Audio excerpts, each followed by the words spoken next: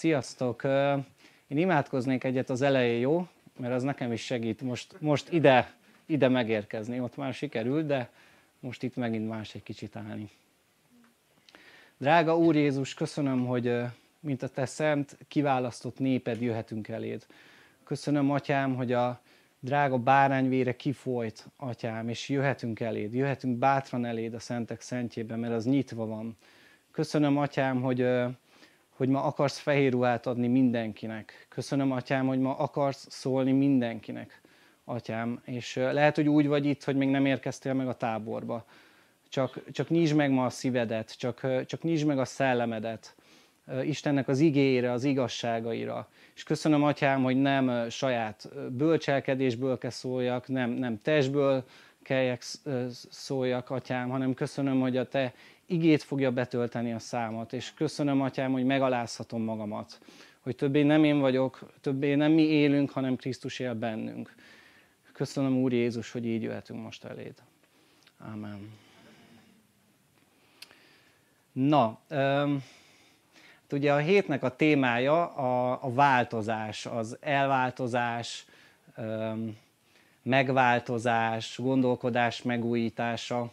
És amikor Áron megkért, hogy, hogy így ma este szolgáljak, és kerestem Istennek az akaratát, akkor, akkor, egy, akkor a, azt mondta, vagy azt éreztem a szívemben, hogy, a, hogy az identitásról és az épülésről kell, hogy beszéljek. És ebben lesz, lesz, lesznek személyes részek, megosztok néhány dolgot a személyes harcaimról, vagy hogy miken mentem keresztül az elmúlt időszakban, illetve hiszem, hogy, hogy Istentől volt, és van két ige szakasz is, ami ezzel kapcsolatos, és, és meg szeretnék veletek nézni. És a, az elején én ezt szeretném felolvasni, és utána, utána belemenni így a többi ö, részébe. A Hageus könyvéből fogok olvasni, nem tudom egyébként, hogy ki az, aki ismeri, vagy ki az, aki olvasta. Én, amikor így ott nyitottam ki a Bibliát, akkor azt se tudtam, hogy van ilyen könyv egyébként a, a Bibliában. Nem biztos, hogy a legismertebb, egyébként nem is olyan hosszú.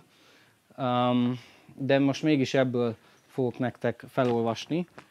A, az el, két szakaszt fogok felolvasni. Az első az a Hageus 1 egyes verszaktól, a 7-től a 14-ig 14-es versig. Nyugodtan vegyetek elő Bibliát, vagy nyissátok meg a, a, a telefonotokról, és hallgassátok figyelmesen Istennek az igéjét. Így szól a seregek ura, gondoljátok meg, mi történik veletek. Menjetek a hegyekbe, hordjatok fát, és építsétek fel, építsétek fel a templomot, hogy gyönyörködjen benne, és dicsőítsenek engem, mondja az Úr. Sokra számítottatok, de csak kevés lett, és amit hazahortatok, azt is elfújtam. Ugyan miért? Így szól a seregek ura. Azért, mert az én házam romokban hever, ti meg csak a magatok háza körül szorgoskodtok. Ezért nem, adok nektek, nem adott nektek harmatot az ég, és nem hozta meg termését a föld. Parancsomra szárasság sújtotta a földet és a hegyeket, a búzát, a bort, az olajat és mindent, amit a föld terem. Sőt, az embert és az állatot is, meg mindent, amiért csak dolgoznak. Zerubábel, Seáltiel fia és Josua főpap, Jocadák fia, meg az egész megmaradt nép hallgatott Istenének az Úrnak a szavára. Hageus proféta beszédére, amit általa üzent Istenük. Az Úr és az Úrtól való félelem fogta el a népet. Hageus az Úr követe pedig ezt mondta a népnek az Úr megbízásából. Én veletek vagyok, így szól az Úr. És felindította az Úr Zerubábelnek, Seáltiel fiának, Júda helytartójának, Jósua főpapnak, Jocadák fiának és az egész megmaradt népnek a lelkét, úgy, hogy eljöttek, és nekifogtak a munkának, Istenüknek, a seregek urának a házán. Ez volt az első szakasz, és lenne még egy szakasz, ami egy kicsit rövidebb lesz. Csak közben nagyon rosszul látok, itt szerintem rosszul tettük fel ezeket a lámpákat, mert alig látom a sorokat. Az jó. Szóval a második része az a Haggeus 2-ből lesz, és a negyedik verszaktól a kilencedik verszakig. Köszi, sokkal. Azért most légy bátor, most már nem. Azért most légy bátor, Zerubábel, így szól az Úr. Légy bátor te is, Jósua főpap, Jócadák fia, és legyen bátor az ország egész népe, így szól az Úr. És dolgozzatok, mert én veletek vagyok, így szól a seregek ura. Mert ígéretet tettem nektek, amikor kijöttetek Egyiptomból, és lelkem köztetek marad, ne féljetek. Így szól a seregek ura, még egy kevés idő, és megrendítem az eget és a földet, a tengert és a szárazföldet. Megrendítek minden népet, és elhozzák kincseiket a népek, ezt a, háza, ezt a házat pedig megtöltöm dicsőséggel, mondja a seregek ura. Enyém az ezüst, enyém az arany, így szól a seregek ura.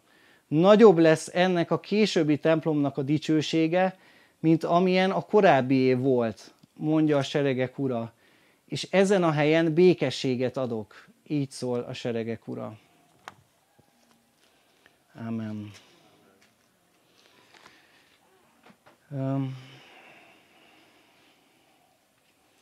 kezdjem a, a személyes részével, és utána bele fogunk menni így az igébe. Pár, körülbelül egy két hónapja elég szarul voltam, és, és felkerestem Ádámot. És igazából azzal küzdöttem, hogy úgy éreztem, ugye, hogy, hogy itt vagyok 29 évesen, és amúgy fogalmam sincs, hogy mi az elhívásom. Szolgál, szolgáltam már lelki gondozásban, egyszer tanítottam szombatötön, de, de nem, nem éreztem a szívemben, hogy, hogy én ezt úgy, úgy biztosan ez így meg, meg lenne kijelentve. És közben meg, meg úgy láttam, hogy a, a környezetem ezt, ezt sokkal jobban erre rátalál, vagy, vagy úgy tűnt, hogy a környezetemnek sokkal jobban megmutatja Isten. Tudjátok, dicsőítés, valaki tanítói ajándékot kapott, vannak ezek a nagyon, hogy is mondjam, látványos, nem biztos, hogy ez a legjobb szó rá, de, de mégis szolgálatok. És, és ahogy Ádámmal beszélgettünk, nagyon sokat segített nekem, mert nem az elhívásról beszélgettünk ott aznap este, hanem, a, hanem az identitásról. És pontosan nem tudnám most visszaidézni, hogy miket mondott nekem, de egyszerűen azt éreztem, hogy, hogy valami, valami épül bennem a Isten szava által, amit, amit Ádám kimondott, és hogy valami, valami szabadul fel bennem. Um, és nagyon, um, ez, ez az ige szakasz, amit felolvastam, um, ez abban az időben játszódik, amikor Babilonból a perzsa király megengedte a zsidóknak, hogy hazamenjenek Jeruzsálembe, és, és ott volt lehetőségük templomot építeni vagy az úrházát elkezdeni felépíteni. És ahogy olvastam az igét, az első szakasz, ami, ami nagyon szólt és megfogott, és ide fog kapcsolódni, hogy azt írja, hogy sokra számítottatok, de csak kevés lett, amit hazahortatok, azt is elfújtam. Ugyan miért? Így szól a seregek ura. Azért, mert az én házam romokban hever, ti meg csak a magatok háza körül szorgoskodtok. Amikor azt mondja az ige, hogy az én házam, akkor gondoljatok a, arra, hogy a, a testetek a, ti szent, a Szent Szellemnek a temploma, a ti testetek. Mindig, amikor ház, akkor gondoljatok, gondoljatok erre. És itt azt írja az ige, hogy, hogy, hogy ez a ház, ez a szellemi ház, ez romokban hever, mert mert mi csak a saját magunk háza körül szorgoskodunk. És az a helyzet, hogy, hogy amikor így, így küzdöttem ezekkel a dolgokkal, akkor nem vagyok ilyen elhívás ellenes, csodálatos dolog az elhívásban járni, meg csodálatos dolog, amikor kinyílnak az ajándékok. De, egyszerűen azt éreztem, ahogy így a szellememben, hogy Isten így, így, így hátrébb kapcsol. Nem, nem előrébb, nem hármasból négyesbe, hanem vissza kettesbe. És elkezdett nekem az identitásról beszélni. Mert az identitásból indul ki minden. És, és én, én azt látom, hogy, hogy sokszor nagyon görcsösen akarjuk ezt az elhívást, miközben a, az identitásban, abban az identitásban, ami, amit Krisztus nyert el nekünk, abban a fiúságban pedig igazából nem erősödünk. Igazából nem erősödünk a csendes kamráinkban, hanem, hanem akarunk, mi akarunk tenni, mi akarunk szolgálni. És Isten azt helyezte a szívemre, hogy mondjam azt nektek, hogy az identitás az első, és abból jön az elhívás, és nem fordítva. Nem az elhívásból jön az identitás. Mert hogyha az iden, mert hogyha ha így történik, akkor az, az önmegvalósítás lesz. És ugyanúgy, ahogy a, ami van a világban, hogy karrier, nagyház, még nagyobb ház, lakás, gyerek, egzisztenciaépítés, vagyok valaki. Ez ugyanúgy manifestálódhat szellemi dolgokban is, vagy inkább úgy mondom, hogy szellemi vonalon.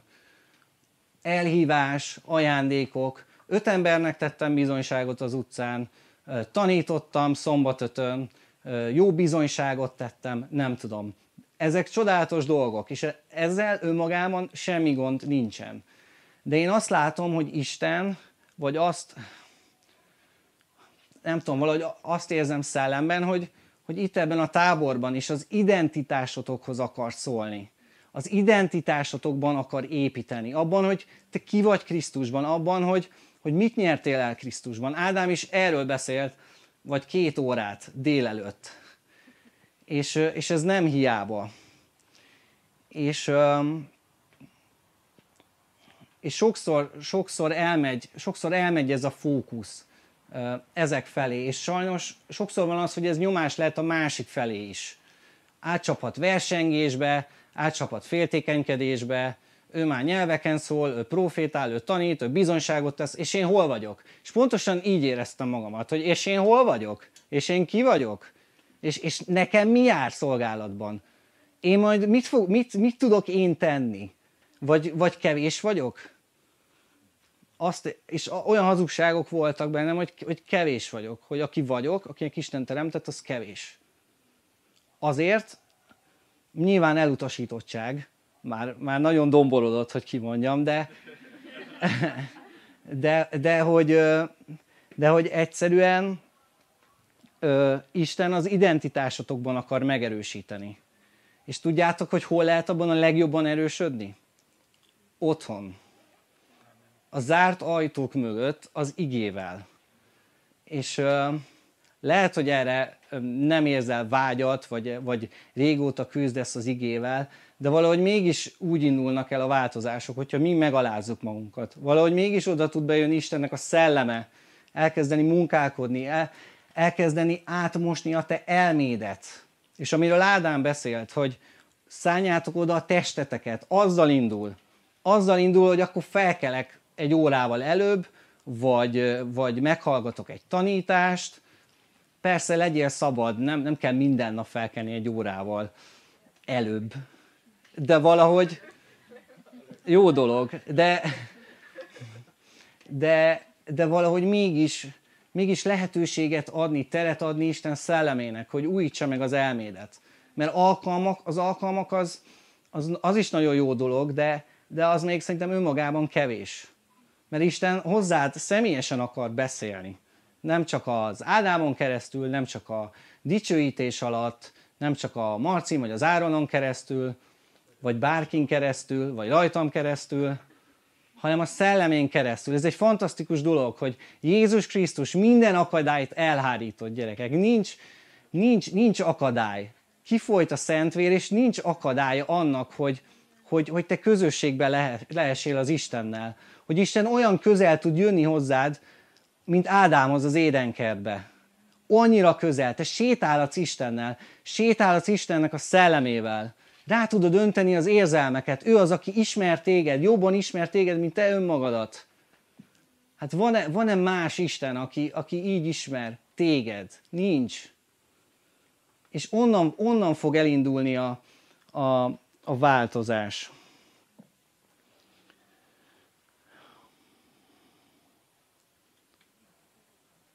És ahogy, ahogy itt Haggeus beszél a néphez, és mondja Istennek a szavát, azt mondja, hogy az Úrtól való félelem fogta el a népet.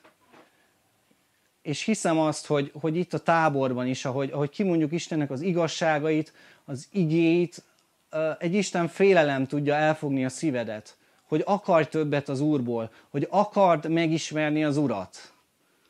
Mert az az, azt mondja az ige, hogy az az örök élet, hogy te ismerheted az Istent. Ez az örök élet.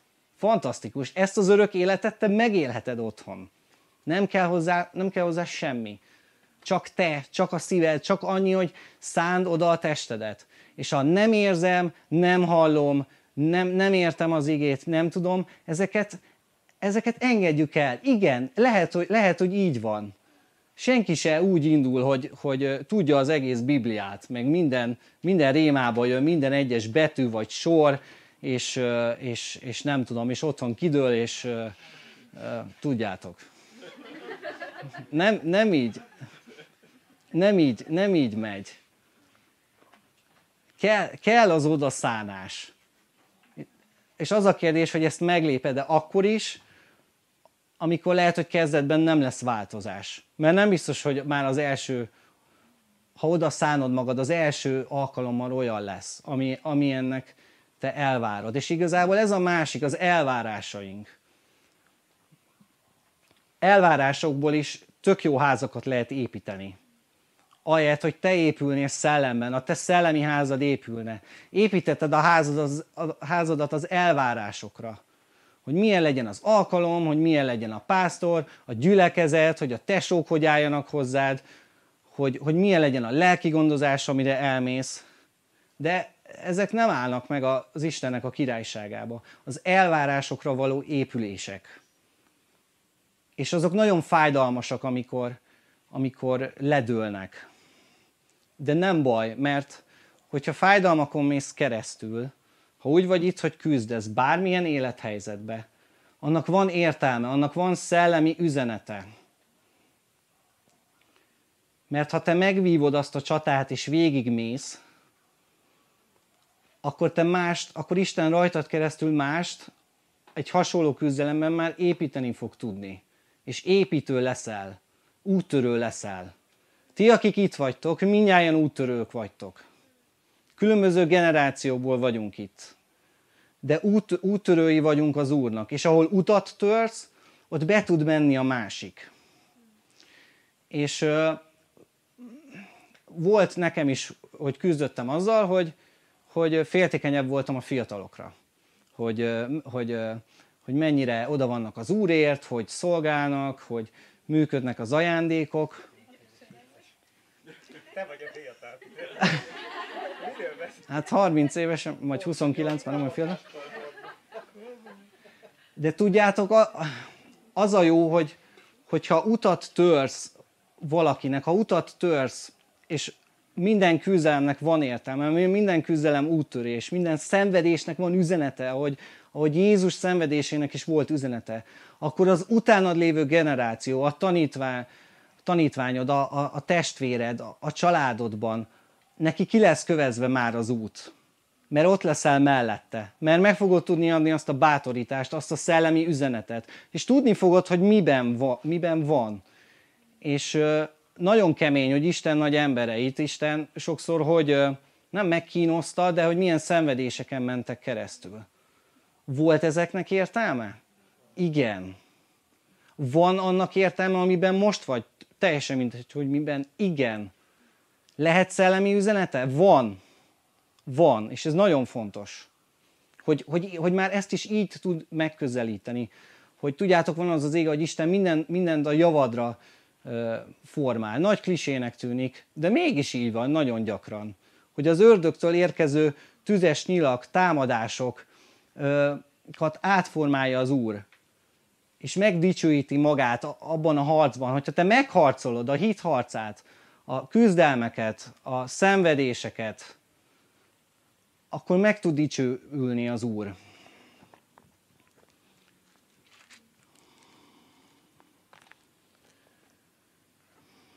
És mi a garancia arra, hogy, hogy, hogy ez végbe tud menni?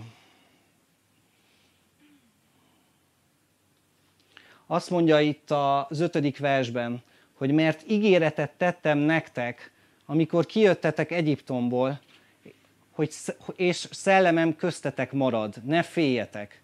Isten szelleme ott van benned, ott munkálkodik.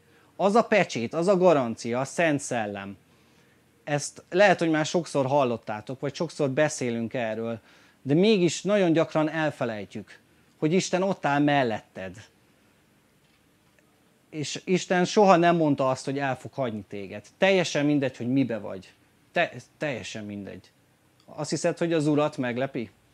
Bármiben is vagy, bármivel is küzdesz. Ha 25-szörre buktál el, akkor is fel fog állítani az Úr.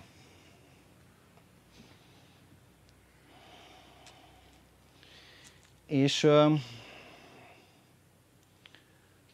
én sem szeretnék így a végidőkkel riogatni, de itt mégis van egy olyan ige szakasz, ami, ami erről beszél. És euh,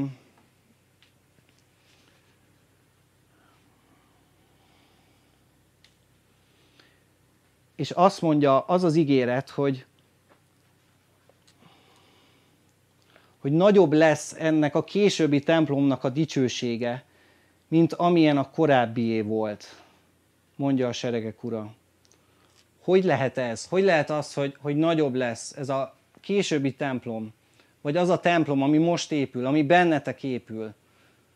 Hogy lehet az, hogy, az, hogy, hogy annak nagyobb lesz a dicsősége, mint amik korábban épültek, vagy mint am, amit korábban építkeztek? Úgy, hogy ahogy közeledünk a végidőkhöz, és hogyha most elképzeltek egy ilyen egyenest, akkor mondjuk Jézus mennybe menetelétől Jézus visszajöveteléig, akkor biztos vagyok benne, hogy a második részében vagyunk. De Isten azt ígérte, hogy a második részben nagyobb lesz a kegyelem. Ahol megnövekszik a bűnot, megnövekszik a kegyelem is. És Istennek terve van veletek, mint nép, meg egyénenként is. Isten ki akarja árasztani a szellemét, és hiszem, azért, hogy minél több ember megtérjen, míg az Úr Jézus visszajövetele előtt. Minél többen hazajöjjenek, a mennyei királyságba lépjenek. Isten mindennél jobban akar téged használni, és meg akar dicsőülni. De ahhoz te is kell lesz, és kell az, hogy a helyes identitásban álljunk. Hogy, a, hogy az értékünket ne az adja, hogy, hogy miben szolgálunk, hanem az, hogy miben, kiben állunk. Hogy az Úr Jézus Krisztus drága vérében állunk hogy a szeplőtlen bárány így, így, így mered rád. És az a, az a kristálytiszta vér, ami kifolyt, az, az megfizethetetlen. És itt, itt kezdődik, innen indul el a fiúság. És fa- fantasztikus, hiszem, hogy Isten fantasztikus dolgokat akar tervezni, és már, már itt a táborban is. És annyira jó, hogy ahogy körbenézek, rengeteg, velem ellentétben rengeteg fiatal is van és, de, de tényleg, de az hogy, az, hogy gyerekek, itt vagytok 20 évesen, 15 évesen valaki, és, és itt vagytok egy, egy, egy szombatot táborba. Ez egy, ez egy fantasztikus dolog, és Isten fantasztikusan fog titeket használni. És hiszem azt, hogy, hogy, hogy itt az utolsó időkben még több embert haza akar vezetni, kézen akar fogni. És hogyha ebben a munkában részt akarsz venni, akkor hagyd, hogy Isten összetörjön, ha össze kell törnöd. Ha ebben a munkában részt akarsz venni, akkor kezdj el bejárni a szentek szentjébe, olajért. Kezdj el bejárni a szentek szentjébe az igéért, a kijelentésért, vagy csak azért, hogy Istennel találkozz és időt tölts. Lehet, hogy nem is kell semmi nagy dologra gondolni és Isten fel fog építeni, és nem csak, hogy jobban fogod érezni magadat egyébként, mert sokszor ezt tapasztalom, hogy is, hogy, hogy egyszerűen Istennek a szelleme az az élet szelleme, és egyszerűen megtölt, és egyszerűen nem minden reggel, de van, hogy másképp lépek ki az ajtón. Olyan, mint a kicsit spicces lennék, vagy nem tudom. De, de nagyon jó dolog úgy elindulni a napba. Egyébként. Szóval bármiben, hogyha akartok többet, akkor, akkor engedjétek, hogy Isten építse az identitásotokat. Engedjétek, hogy, hogy, hogy azok az igék, azok az igazságok, azok az ígéretek átmossák, átmossák az, átmossák az elméteket. És hagyjátok, hogy Isten szelleme dolgozzon bennetek. Mert ő az állog, ő a pecsét. Ő fogja elvégezni a jó munkát az Úr Jézus Krisztus visszajövetelére. Ő fogja felöltöztetni a gyülekezetet a fehér ruhába, és téged is a fehér ruhába. És ma is fehér ruhába akar öltöztetni. És be akarja takarni a sebeidet, hogy ne fájjanak annyira. És Balázs, feljöhetsz zongorázni, mert ha, hamarosan befejezem, és csak szeretnék egyet imádkozni ezekért a dolgokért, és uh, csak menjünk, csak menjünk be Isten, menjünk be Istennek a jelenlétébe. És uh, most csak tegyél, tegyél le mindent, és csak, csak, csak azt mondja Isten, hogy csak gyere úgy, ahogy vagy. Nem másképp. Nem az elvárásaiddal, nem, a, nem azzal, hogy most megérkeztél-e már ebbe a táborba, vagy nem. Nem, a, nem azzal, hogy most magadra nézel, hanem nézzünk Istennek az orcájába.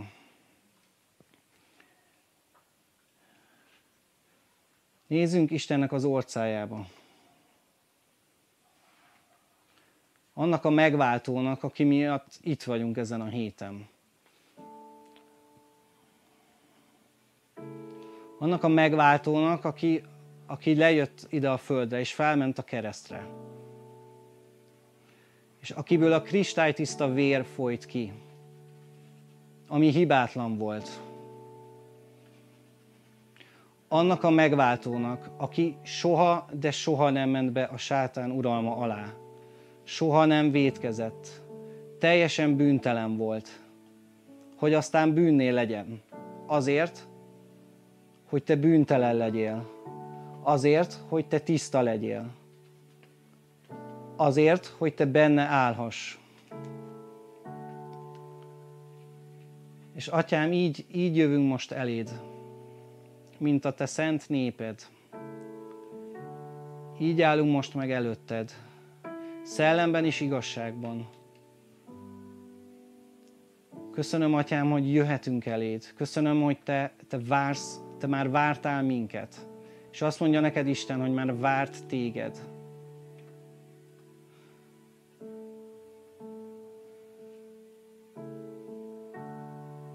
Köszönöm, Atyám, hogy valóban az orcádra nézhetünk.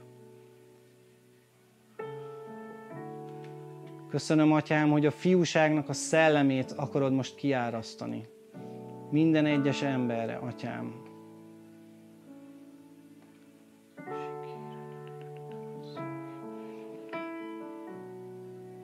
És ezért imádkozom, hogy a fiúság szellemét áraz most ki a szívekbe. Atyám hogy, hogy az a jó munka, amit el akarsz végezni az egyes emberekben és Isten népébe is, az befejeződjön a te visszajöveteledre.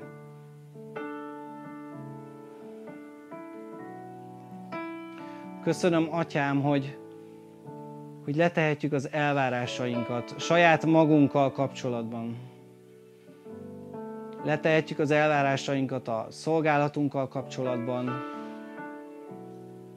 az elhívásunkkal kapcsolatban, egymással kapcsolatban.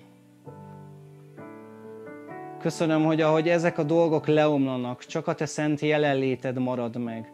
Csak a te szent jelenléted van nyilván ezen a helyen. És nincs más, atyám. Nincs más, amiből az élet árad a valódi élet, az örök élet, atyám.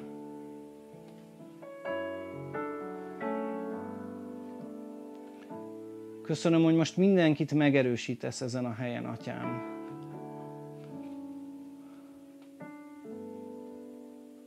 És csak köszönöm, hogy csak oda szánhatjuk magadat a te terveidnek.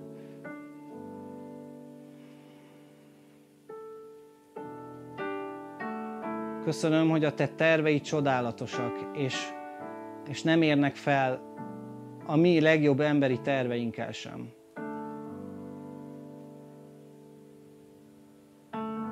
Köszönöm, hogy letehetjük az álmainkat is a Te kezedbe, Atyám. Mert ott van a legjobb helyem. Köszönöm, hogy Atyám, amit leteszünk eléd, abból lehet, hogy lesznek dolgok, amiket visszakapunk, és lehet, hogy lesznek dolgok, amiket nem. De akkor azokat el kell engedni. De köszönöm, Atyám, hogy Te egy jó Atya vagy, és a legjobbat akarod minden egyes embernek ezen a helyen. És Atyám, így állunk meg ma előtted, szentként. Így állunk meg előtted a királyságodban fedhetetlenként. Mint a jó munkások, atyám, mint a te jó munkásaid.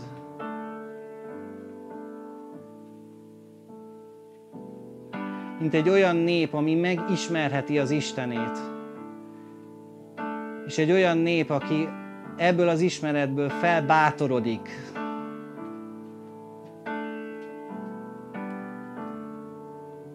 ne félj, csak ezt mondja az új, ne, ne félj, csak légy bátor.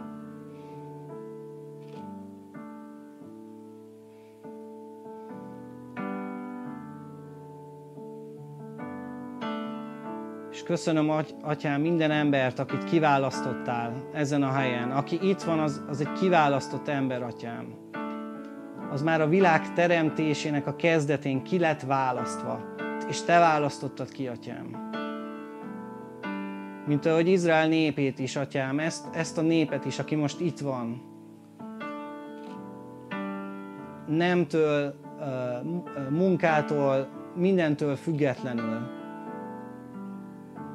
Atyám, egyek vagyunk benned.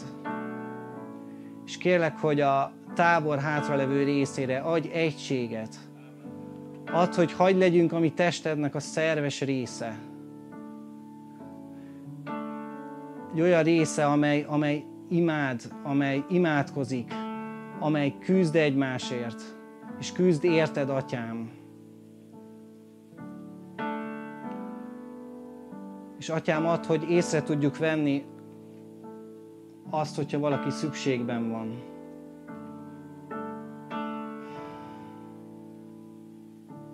Köszönöm, Atyám, hogyha a szükségben felét fordulunk, Te jössz a szükségünkre.